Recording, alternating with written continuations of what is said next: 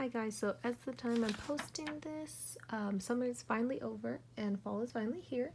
Um, as the temperature cools down and the leaves begin to fall, it reminds us that one of the best holidays is just around the corner, Halloween. Halloween is the perfect time to have a little fun and be a little spooky, and honestly a great book to read during this time is Room on the Broom. It's about a witch and all her adventures she has, meeting her new friends and everything. It has basically anything you could hope for with a Halloween book. It has a witch, it got some cats, it has some magic wands, and it has honestly so much more. All the illustrations are really fun, um, it's really cute, everything rhymes, and honestly, I think it's just a cute little adventure to be reading around Halloween time. I think if you want to get into the spirit already, this is a great book to check out. Thanks, bye.